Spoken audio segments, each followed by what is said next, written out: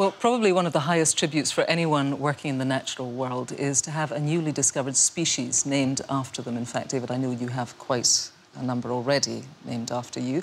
Um, it's your birthday, so one of the world's foremost dragonfly experts wanted to give you a little gift. Here is Klaas-Douwe Dijkstra. On your 90th birthday, I want to wish you not only many more years of good health and of broadcasting, but I wish everyone more of you. And to thank you, I've named, together with colleagues, a dragonfly in your honor, Acisoma attenboroughi. Your new dragonfly is from Madagascar, and I'm happy to report that your dragonfly is actually very common. Every farmer can find it in her paddy, every fisherman can see it in his pond, every schoolchild can find it in the yard. It simply is another one of those species that is unique, but no one noticed that it was. But now people can go out there and say, hey, look, that is Sir David Dragonfly. Thank you and happy birthday.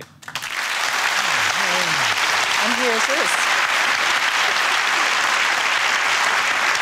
There it is, David, a very special little birthday gift, Acisoma attenboroughi. Rather beautiful, don't you think? I think it's stunningly beautiful. Dragonflies are magical insects, aren't they?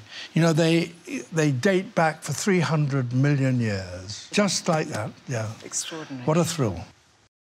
Because he's very. Ooh. I definitely have love for David Attenborough. Yeah, no, like. I, I don't know why you wouldn't love David Attenborough.